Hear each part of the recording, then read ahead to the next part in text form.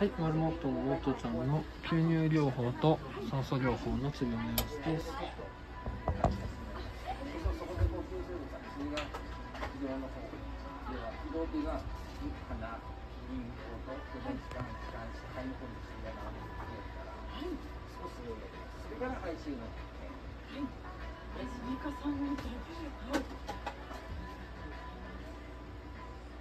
あこれは辛いなからまああのこういう治療しててね、まず目安になるのは、今から12時間以内におしっこ出ると。